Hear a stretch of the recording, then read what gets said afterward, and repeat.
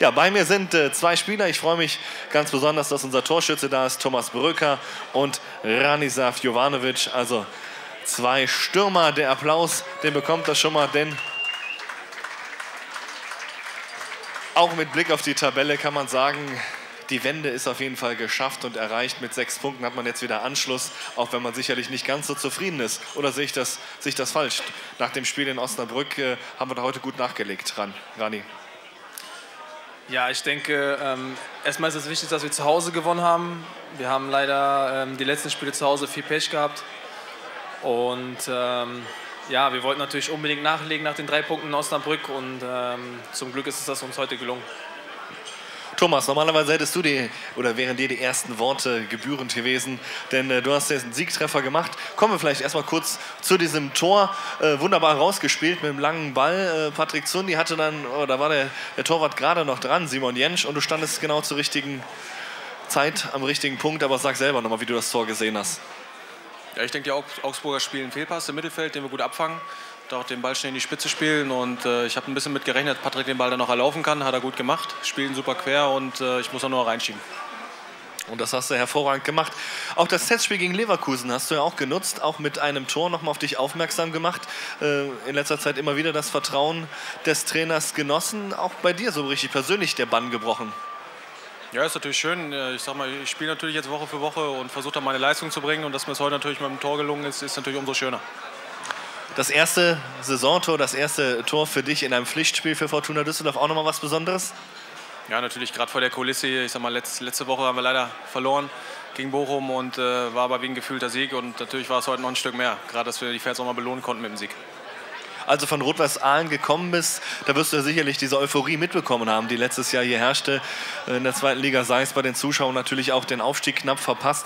Da war das doch sicherlich schon enttäuschend, wenn man die ersten Spiele so gesehen hat, in doppelter Hinsicht.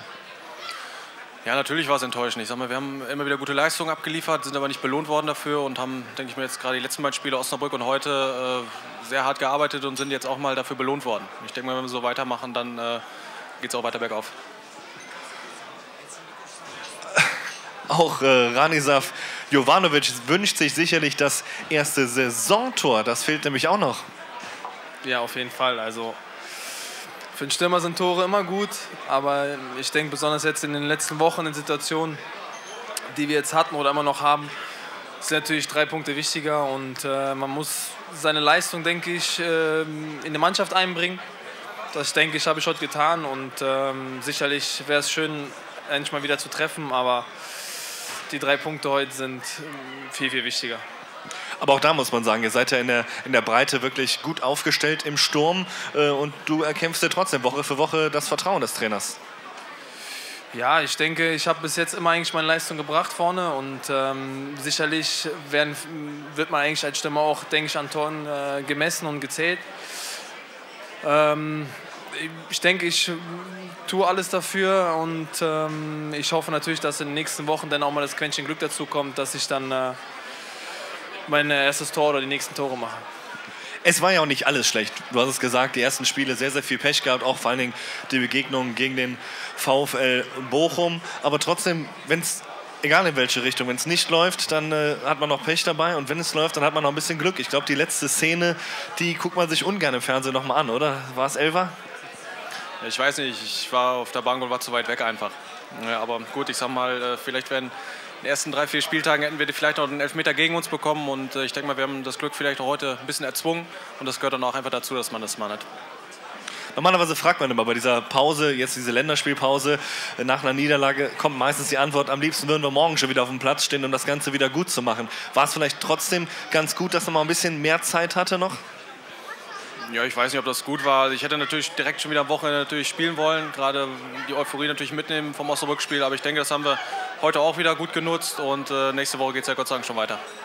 Ja, lass uns noch mal kurz ein Wort über die Zuschauer ähm, ja, sagen, denn das ist ja wirklich unglaublich, oder? Ich meine, klar, irgendwann wird ja auch der Zuschauer ungeduldig, wenn es viele Niederlagen gibt, aber relativ schnell habt ihr das Vertrauen auch der, der Fans wieder gewonnen. Ja, ich denke, ganz wichtig auch ähm, war unser Treffen gewesen mit den äh, einzelnen Fangruppen, die wir haben. Äh, und wo wir halt viele Sachen angesprochen haben, die auch, sage ich mal, ähm, die Fans interessiert hat. Aber ähm, der Trainer sagt das Woche für Woche, wenn wir wirklich auf dem Platz unsere Leistung bringen und die äh, Zuschauer wirklich sehen, dass wir uns reinhauen, alles geben, dann äh, stehen natürlich die Fans auch hinter uns. Und äh, wir Spieler sind natürlich sehr, sehr froh darüber, dass wir so eine große und äh, wirklich großartige Fankultur haben. Und ähm, dafür, denke ich, äh, beneiden uns auch sehr viele. Und dafür lohnt sich dann wirklich äh, umso mehr, wirklich alles zu geben und dann am Ende zusammen zu feiern. Der Eurovision Song Contest wird jetzt in Düsseldorf stattfinden. Das bedeutet für die Fortuna drei Heimspiele am Flingerbruch im Paul-Janis-Stadion. Wie stehst du dazu oder wie steht ihr, ihr als Mannschaft dazu? Ich meine, das wird sicherlich auch eine Festung, äh, sehr klein und eng. Freut man sich über vielleicht ein bisschen Abwechslung oder ist es schon, dass ihr sagt, ach Mensch, gerade zum Ende der Saison eigentlich schlecht? Also ich selber kann es nicht richtig äh, einordnen, weil ähm, ich meine, es ist noch ein langer Weg bis dahin. Bis dahin. Aber ich habe jetzt gehört, dass äh, das Stadion, glaube ich, auf 18.000 ausgebaut wird und äh, vielleicht wird es am Ende ein bisschen wenig sein. Wenn vielleicht das Doppelte oder mehr Leute zum Spiel kommen wollen, ähm, wird es da vielleicht ein oder andere Problem geben. Aber ich denke auch, Flingerbräuch ist äh, ein Zuhause von Fortuna. Ähm, und äh, wir spielen eigentlich auch sehr gerne dort. Meistens halt, wie gesagt, Freundschaftsspiele. Und ja, ich denke, wir werden uns alle überraschen lassen, was das für ein Hexenkessel dann werden kann. Lass uns noch mal kurz auf die nächsten beiden Spiele schauen. Die nächste Begegnung am 24.10. Sonntag 13.30 Uhr beim SC Paderborn. Ja, hast du recht, gegen Paderborn. Wie schätzt du den Gegner ein? Äh, nachlegen. Ja, natürlich. Also ich denke mal, wir müssen natürlich in Paderborn da anknüpfen, was wir auch die letzten beiden Spiele schon gemacht haben. Wir müssen uns da wieder voll reinhängen, geht wieder von null los in Paderborn. Und äh, ja, das werden wir machen und dann gucken, was, was dabei rumkommt. Und dann kommt am 1.11. am Feiertag zum Montagsabendsspiel der MSV Duisburg. Das wird sicherlich eine knackevolle Hütte. Auch die Duisburger werden viele Fans mitbringen.